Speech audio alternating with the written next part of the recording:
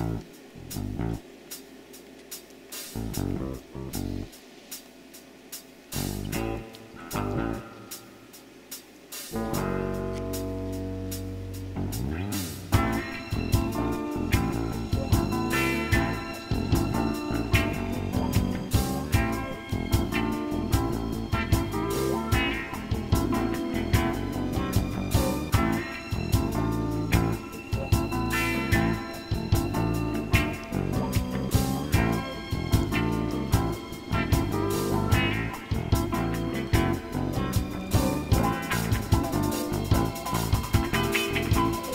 Made it to the other side.